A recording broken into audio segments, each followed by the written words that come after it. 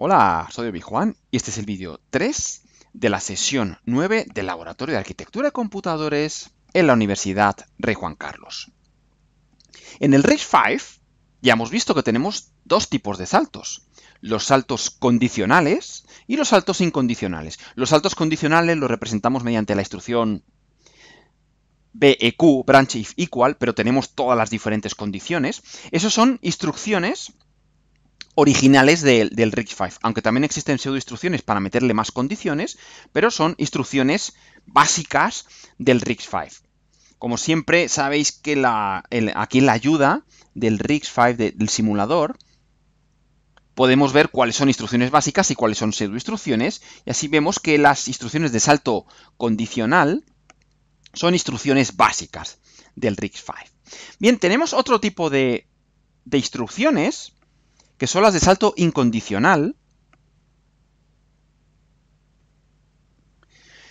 que estas instrucciones, en realidad, que hemos visto varias, por ejemplo, branch, estas en realidad se implementan mediante las instrucciones reales del RIGFAS que se llaman instrucciones HAL, que significa Jump and Link, instrucciones de salto y enlace. Y estas instrucciones tienen la particularidad de que indicamos siempre dos direcciones. Una es la dirección destino, hacia dónde, hacia qué posición de memoria queremos que la CPU continúe ejecutando instrucciones y tenemos la dirección de retorno, que la dirección de retorno es la dirección siguiente a la propia instrucción de salto. Bien, entonces tenemos siempre estas dos instrucciones, la destino y la dirección retorno. Pues según cómo especifiquemos esta dirección, de eh, eh, esta dirección destino, hacia dónde saltemos, tenemos dos tipos de instrucciones de salto incondicional. Tenemos las, las, la HAL y la HAL-R.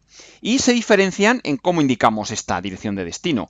Con la instrucción HAL, esta dirección de destino la indicamos como ya conocemos, es una dirección que es relativa al contador de programa, es decir, relativa a dónde estoy yo le dices, oye, realiza un salto, mm, seis medias instrucciones hacia adelante o las medias instrucciones que sea.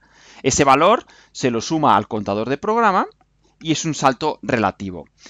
Pero por otro lado, podemos indicar la dirección destino utilizando otro registro y un offset, de manera que la dirección a la que saltamos es la al contador de programa le cargamos la dirección de ese registro sumado con ese offset. Estas son las dos variedades que tenemos. Entonces, por ejemplo, pues vamos con la primera, pues dices, yo voy a hacer este tipo de saltos, siempre el primer argumento siempre es la dirección de retorno, las dos instrucciones tienen este primer argumento de la dirección de retorno, dice, oye, salta a la dirección destino que te indico aquí, que la vas a calcular de esta manera, sumándole a lo que tenía el contador de programa el offset y la dirección de retorno la vas a guardar en este registro destino. Este registro puede ser cualquiera, cualquiera de los 32 registros. La dirección HAL R es igual, oye, realiza un salto a la dirección que te indico de esta manera, sumándole al registro fuente un offset. El registro fuente puede ser cualquiera. Este valor lo metes en el contador de programa y así realizamos el salto. Y la dirección de retorno la, vas a guardar en este otro registro, que puede ser cualquiera. El RIS5 no diferencia qué registros podemos utilizar. Ahora bien, esto sí que se diferencia cuando utilizamos la AVI, el convenio para poder interconectar programas entre sí. Ahí sí que ya utilizamos unos registros determinados. De esta forma, las instrucciones de saltos incondicionales, las que ya conocemos del branch, branch etiqueta, así lo ponemos nosotros cuando estamos trabajando en lenguaje ensamblador, esto en realidad es una pseudo instrucción, que se va a traducir a la instrucción real HAL. Y le va a decir, oye, salta a la etiqueta calculándose el offset y la dirección de retorno la vamos a descartar porque esto es un salto incondicional, me da igual, es un salto normal, yo no quiero, no es una subrutina. Con lo cual, el primer argumento siempre va a ser un x0. Y a continuación, pues el número de medias palabras hacia adelante o hacia atrás que vamos a saltar. Bueno, ¿cómo hacemos un salto a subrutina? Pues es lo mismo, un salto a subrutina utilizamos la pseudo instrucción HAL, que simplemente indicamos HAL etiqueta, igual que aquí en el branch. Oye, salta a la subrutina que está en la dirección de memoria, la que sea, pero en realidad la instrucción real del RIX5, lo que le, lo que le decimos es, oye, RIX5, salta a la dirección destino que te indicamos en el offset, sumándoselo al contador de programa, es relativo a ti mismo, y deja la dirección de retorno, guárdala en el registro X1. Vemos que por defecto, si nosotros solo ponemos el HAL, por defecto se va a utilizar el registro X1, el registro RA, porque es el que me dice el convenio, que es el que me dice, es el registro que vamos a utilizar para almacenar las direcciones de retorno. Por supuesto, podríamos meter aquí cualquier otro registro, pero el convenio me dice no, siempre vamos a utilizar el registro RA, el registro X1. ¿Cómo retornamos de las subrutinas? El retorno a las subrutinas es un salto normal. No es una llamada a una subrutina, es un salto. Tenemos que volver a, donde me diga la dirección de retorno. Pues esta instrucción red, esta pseudo instrucción de vuelta de subrutina, se traduce a una instrucción HAL-R que le dice, oye, salta a la dirección que te indique el registro X1, que es el que contiene la dirección de retorno, y lo que hemos llamado aquí la dirección de retorno, la dirección que está a continuación de este red, ignórala. No la vamos a guardar en ningún registro. Por eso ponemos aquí el X0. Porque nos da igual. Un red, en realidad, la semántica del red es, es un salto normal, pero es un salto hacia donde le dice el registro con la dirección de retorno. Vamos a verlo esto con el ejemplo que ya conocíamos. Y este ejemplo que ya, que ya conocemos y que ya hemos simulado, aquí, que lo, tengo aquí, pues vamos a, volverlo a simular, pero desde, desde, esta perspectiva, fijándonos en las instrucciones reales del RIX5 y no en las pseudos instrucciones. Pues esto lo, guardamos, lo ensamblamos. Este es el programa que ya conocemos, es el programa que tenemos un programa principal que hace dos llamadas a la subrutina tarea 1. La subrutina tarea 1 es una tarea que está en el nivel inferior, en el, nivel 1, un nivel por debajo y que simplemente me imprime el mensaje tarea 1 para saber que se está ejecutando. Bueno, pues esto lo ensamblamos y ahora nos vamos a fijar aquí. Nos vamos a fijar en las instrucciones reales del RIX5. La, la dirección de la subrutina la tenemos aquí en la tabla de símbolos, es la, la dirección 18. Aquí es donde comienza la, subrutina, ese es el punto de entrada de mi subrutina.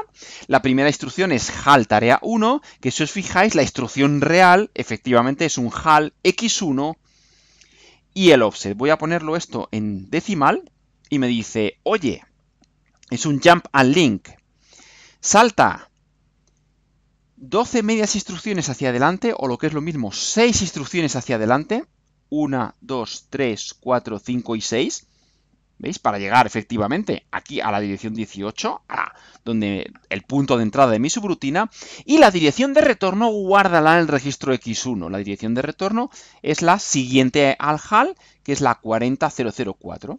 Pues vamos a comprobarlo, efectivamente le damos, el contador de programa se me actualiza con el valor de la, del punto de entrada de la, de la subrutina, que es la 18, y la dirección de retorno se me ha actualizado en el registro REA, se me ha guardado la dirección 40004, que efectivamente es la siguiente al HAL.